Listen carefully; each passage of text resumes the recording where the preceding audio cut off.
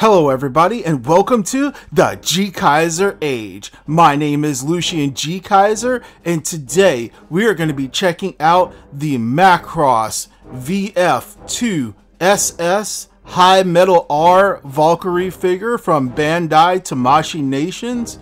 This is the Nexx custom version and we're going to be taking a quick look at the differences between it and the original Sylvie Gena version and all the awesome quality that is in this perfect rendition of the VF2 SS from Macross 2 Lovers Again. So let's get started. Lucian G Kaiser and the G Kaiser Age launching.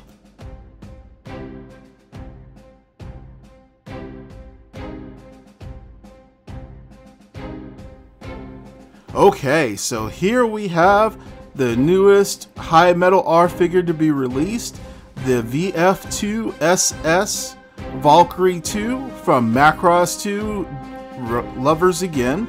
This is the Nexx Gilbert version, and I absolutely love this nice blue trim on here. I love the red trim on the Sylvie Gena version, but I do love the blue a little bit more. It's a nice light blue, as you can see. And this figure is basically the same mold as the Sylvie Gena with a few extra parts that we're going to be going over next. I purchased this on uh, the website of Ami Ami. You can also find it on HobbyLink Japan and a few other select websites out there. So if you want to pick one up, I do believe there are still a few left available, but I do recommend grabbing one as soon as possible because they do sell out pretty quickly and it takes a while um, if any get reissued or released again. But uh, let's go ahead and take a look at it. So we're going to start with the head here. It's the same mold and everything as the Sylvie Gena. So the head, of course, has the same range of flexibility. It can move down that much. It can move up that much. It can, of course, rotate 360 quite easily. You have a nice range of motion. The head antenna, antennas, which are also anti-aircraft lasers, can be repositioned. So you can reposition those in different ways. Tilt them forward as if it's firing them. And then you can tilt them back into the classic resting position. It does come with an extra pair of these, so if you happen to damage one or both of them, you have a full extra pair, and I appreciate that from Bandai. They're very nice of them. The arm, of course, has the same range of motion. A nice double bend at the elbow there. Upper arm swivel. There's a little it's really stiff when you first get it. So it's kind of hard to swivel it a little bit. But you got the mid arm at the elbow swivel there. And then you got another one via the arm connector to the forearm. So you get double swivel on that. So plenty of range of motion. The arm can flex outwards. You just have to move this piece, piece of armor out of the way. And then you can flex the arm further up. And the joints on this are really stiff. I have been playing with it and transforming it, but the joints are still really stiff. And I have to appreciate that difference between this one and the Sylvie Gena because my Sylvie Gena out of the box was also a little bit uh, looser than this one. So I appreciate that. And of course, full 360 on the arms as well. So you got that. You can bend out that far because it's on a hinge. Bend forward that far so you can get a nice gripping pose if you want. So a nice range of motion there. On the legs, we've got a nice hip connector. Now with the wings, they do kind of get in the way, but you can swing the leg back that far you can bend at the knee. You can, of course, bend it a little bit further forward, but that's for the Gerwalk mode. And then the feet, as you can see here, there's a limited range of motion on them. You don't really get so much of a side-to-side -side swivel on the feet, unfortunately, but you do get a nice bend. On the foot, And then of course you get the angle from the ankle. So even though they don't bend, it still stands very well without that. At the ankle bend and pivot. And you, with the pivot of the legs you can get in some really dynamic and nice poses with it. So not too much trouble there on that part. And of course you got a nice forward swing too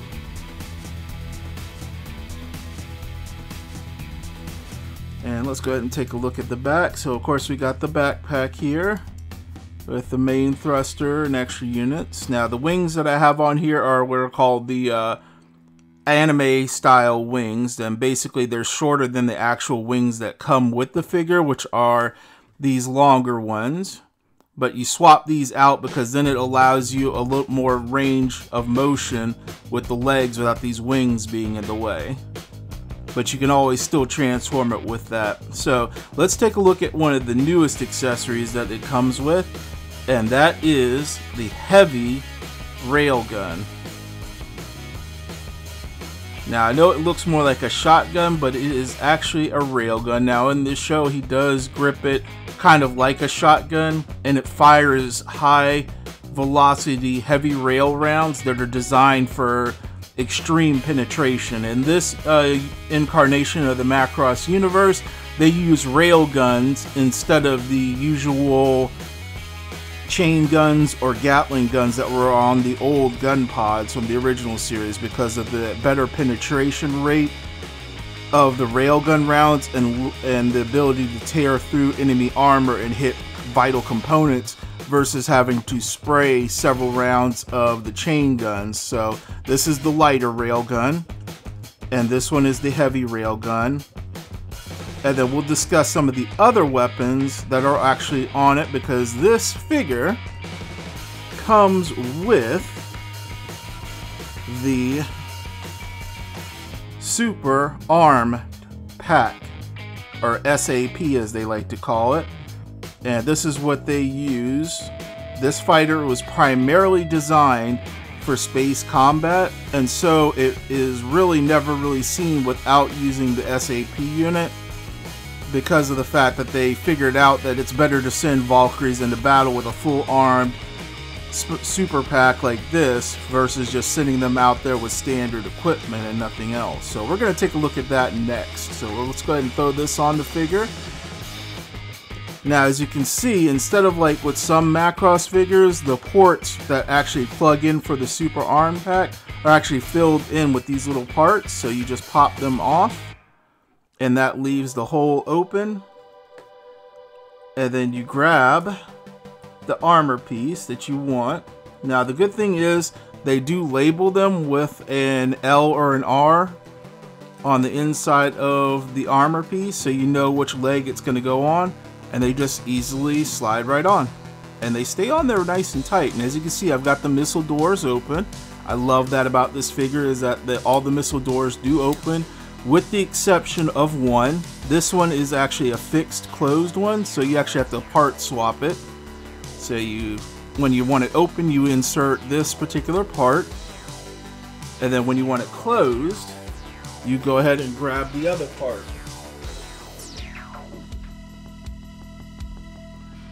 And they all come labeled, so of course you get that nice label in there. That's hard to see on this, sorry. but there's an L or an R on it so you way you know which leg it's for and then you just slide it back on there now the other cool part is this part this unit comes with two right leg units the right one with the missile pods and then the right one with an actual storage for the heavy railgun so we're going to put the one with the storage for the heavy railgun on since that's a new part and I really love the fact that they included the missile part so you don't miss out on having that. And it's one of the reasons why you might be preferred to get this figure versus the Sylvie Gena because Sylvie Gena does not come with the heavy railgun and it does not even come with an optional part to store the heavy railgun like this one does. So uh, if unless you like the Sylvie Gena colors, I would recommend getting the Nexx because you get a little bit more bang for your buck. But now that we've got that on, you would just take the heavy rail gun and then fold up, fold up again, make sure it's clicked together, and then you see the slot right here on the side.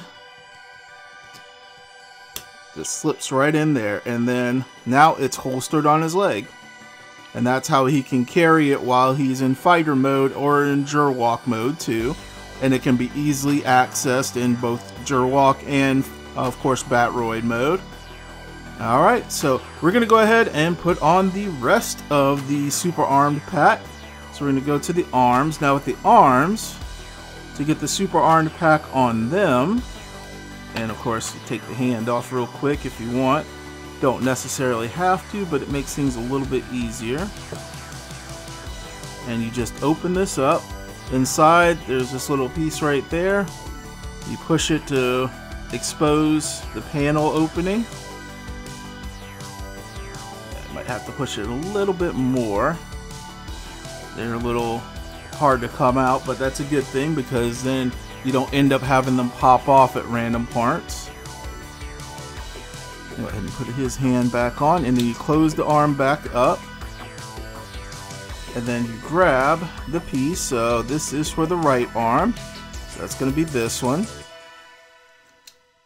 And you just attach it right on there. And as you can see, once again, all the missile ports open. And you can close those up. And it looks fantastic, stays on there nice and tight. And now we're gonna go ahead and do the other arm. But this time we're gonna take the rifle off of this one too. Fold it up.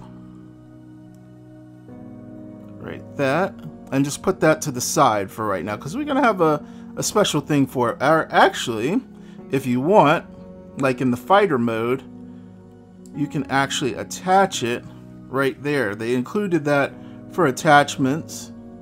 So you can attach it to the back. Now you can only do this when the armor is not on the fighter and it's not in uh, fighter mode. But when it's in fighter mode, the alternative storage is actually this. So on the other arm piece, and you can do this, you can switch this part with any of the other two pieces, there's a little panel you can pull off and then you can put this part on to replicate the gun being stored in the forearm missile armor pack. And then you just attach it to the arm that you decide to do that for. So let's go ahead and pop this out again. This time make sure we push it all the way out. There we go. Close it. And we're gonna go ahead and throw this guy right on here. Oop, Wrong way. There we go. And perfect. And now, he's got both guns stored on here. Close up those missile ports. So now he's got the light rail gun here, and he's got the heavy rail gun here. And now the last part of the armor is, of course, the big old backpack. Now, as you can see, I've got the heavy missiles. These are large, long-range missiles that are mounted in six points. And these are used to engage targets at long range. So we're going to keep these folded up. And then you can see here, the wings not only are rotatable at this point, but the outliers with the missiles are also rotatable. So you can rotate all of that. Just like with the Sylvie Gena version, it has all these same options.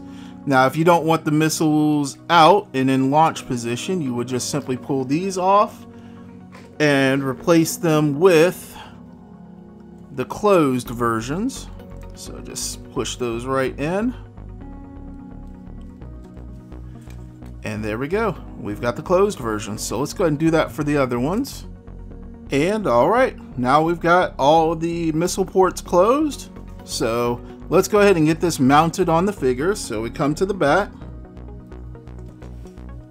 Now you see these two thruster pods, they are going to slip into these two locations here on the backpack. So let's go ahead and get started with that.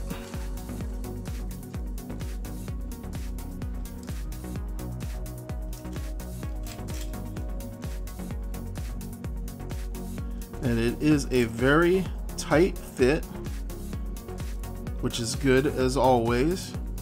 The last thing that you want is your figure to not have its parts fitting tightly. And I have to say, compared to the Sylvie Gena, this actually fits on here a lot tighter and a lot better.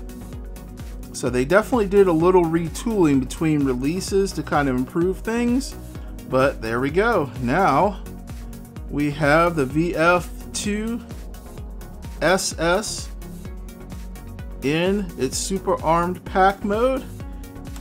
And as you can see, that large scale rail cannon is pretty long. Now, one of the things that you can do with this too, since obviously you couldn't fire the rail cannon from that position, is it actually can assume what's a, basically a Macross cannon style configuration. Now to do this, I'm going to take the backpack back off just temporarily because it's easier to do it with the backpack off. So let's go pull it off. Like I said, it fits nice and tight. I appreciate that. Just got to be careful here. There we go. Alright, so take the backpack off. There is a connector right here. So, so there is a there is a connector right in here. You simply pull this and then slide this up. And then what you want to do is put the backpack back on the figure. Sliding it into place. Lock that in. And then this part bends down and there is a visor right here that you simply extend out. You pull this forward, moving the head back a little bit. Then the visor covers the forehead, moving the lasers down. That way they don't get damaged. Or you can of course, maneuver them backwards. Hmm, slide this part back into place and lock it in. And there you have the heavy or the large scale high velocity rail cannon in its firing mode. And I absolutely love it. It looks fantastic, looks like straight out of the anime. And honestly, when I first watched the anime of Macross 2, I thought these were like beam weapons, but no, they are actually just high velocity railguns. So, definitely an awesome figure, and I absolutely love it. So we're gonna go ahead and move on to the Gerwalk and Fire mo Fighter modes. Um, for those modes, it's not really too much different. It's pretty much the same as this. Alright, so here we have the Guardian mode, or Gerwalk mode as they like to call it in the original anime. I kind of like Guardian mode myself, but let's go ahead and move on. So as you can see, everything is still accessible in this mode. The missile turrets, of course, all the other cluster missile pods, the heavy railgun mounting, and of course the light railgun mounting there. The figure is very posable in this mode as well. You can still pose the arms. They still have a great range of motion. And as you can see, we got the cockpit with the figure. Now, here's a disappointing part. The figure is not colored in Nexx's colors. It's just a plain white. So I'm going to get in there with some paint at one point or another and go ahead and paint this guy up and give him a nice little blue streak on there. Something that matches the figure but uh, I'll be doing that later. But as you can see, everything is nice and solid. It stands pretty well. I've put the regular wings on here because I plan on showing off the fighter mode next. Now, of course, the regular wings are never folded out in the fighter mode or Gerwalk mode when it has the super armed pack, but I'll be showing you the figure without the super armed pack on in its fighter mode. The Gerwalk mode, it's essentially the same thing, just without the armor on it, so there's no reason to really spend a lot of time uh, showing that off without the armor pack. If you want to see images of that though, I'll have those uploaded on my Imgur account, but all in all, it is solid, very sturdy and stable as you can see here in the Gerwalk mode. So let's go ahead and move on to the final mode, the fighter mode, and then we're going to compare this guy to the previous release here, the Sylvie Gena version. So let's get down to the last part and then we're going to do our comparison and make sure we notate some of the notable big changes between the two figures. Alright, so now we have the fighter mode and I absolutely love it. This is probably one of my favorite Macross Valkyrie fighter designs out of all the different Macross series. Now, unfortunately, this was this particular series, Macross 2 Lovers Again, did not do so well, and it's kind of sad, really, that it's not canon, really, because this figure and the anime series itself were not that bad. I love this Macross Valkyrie design. It was not a great series when you compare it to things like Macross Plus or Macross Frontier or the original Super Dimensional Fortress Macross, but it was still a fun watch and I still like to watch it every now and then, but the fig the fighter mode is very solid. It's actually a lot more solid than my Sylvie Gena one because the legs on my Sylvie Gena tend to kind of slide out of position. They seem to have made a much firmer and much more sturdy design with this one. So versus the original Sylvie Gena out of the box, this figure is basically a lot better. And I expect it to stay a lot tighter than the Sylvie Gena version 2. Now, of course, it comes with the standard Hi-MetalR fixed landing gear that you actually have to install on the fighter. There we go. Pull that up a bit. Pop that out. And then you just put in the landing gear in its place. So once you have the landing gear popped in on the front, there are these panels on the fronts of the legs. Alright, so once you have, of course, the rear doors off, you have these pieces right here. And each one is of course once again labeled for the appropriate side of the figure. So let's go ahead and get these put on. So we've got the right side here. It's going to go on the right leg area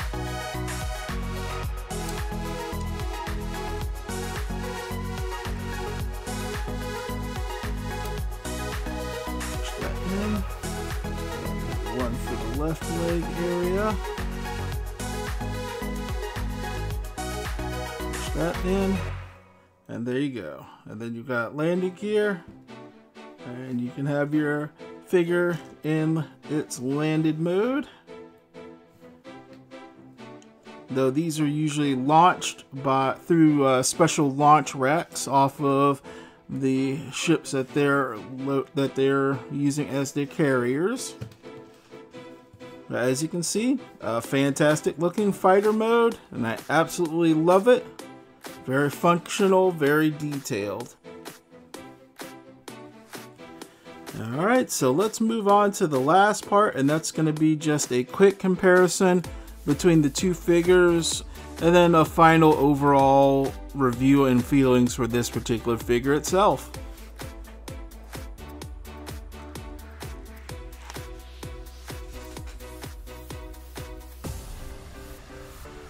Alright, so before I get to the final review and everything, I should note that this unit also comes with, once again, the small remote bit units that are mounted with uh, with laser cannons, much like the head lasers on the Valkyrie itself, that can be used to intercept incoming enemy missiles or to take a hit for the Valkyrie instead of the Valkyrie taking the direct hit from an enemy attack.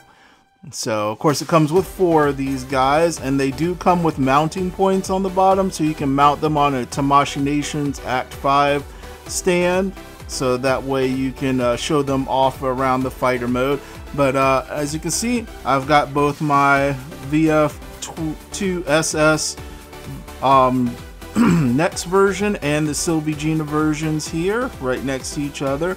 Now, the biggest difference that I noticed between the two, of course, is the tighter joints, the better, um, of course, fitting parts on the figure itself versus the Sylvie one.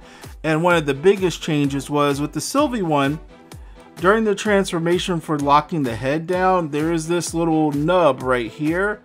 That nub is supposed to fit in to this little groove here, but it's too short to do that. It misses the mark just a little bit. On the Nexx version, they fix that, and as you can see, it has a much longer tab that slides in there to lock the head better into place so it stays in place. So there's minor tweaks and changes like that on the figure, but it still doesn't detract from the fact that both of these figures are fantastic but I definitely have to recommend if you're gonna get one of the two, definitely pick up the Gil the Nexx Gilbert version because his comes with all the accessories that Sylvie's does, but you get the heavy rail gun and you get the alternate leg piece to mount it, and it's just a better, tighter figure overall. Still, both of them I highly recommend. If you've ever watched Macross 2 and you enjoyed it, you'll enjoy having these figures as a pair, and I definitely look forward to more Hi-MetalR Valkyries from Bandai. I have become addicted to this line. They are fantastic, the detail is great, and the size is actually not that bad.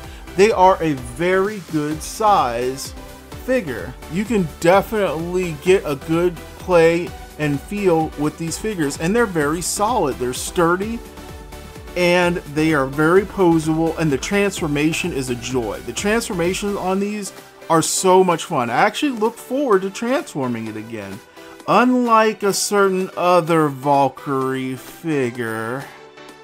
Uh, I hate transforming this thing.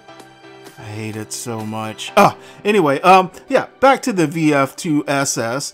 Yes, these are great figures. Definitely pick them up if you can. Like I said again in the previous video, Ami Ami, Hobby Link Japan, several other Japanese import websites have them available still, especially the Nexx one. But I definitely recommend grabbing it quickly because the Sylvie Gena one sold out real fast. And I'm sure Nexx is the next on the line to actually be sold out. But once again, I want to thank you here for joining me here in the G Kaiser age. If you guys like what you see here, definitely drop me a like, a favorite, and subscribe.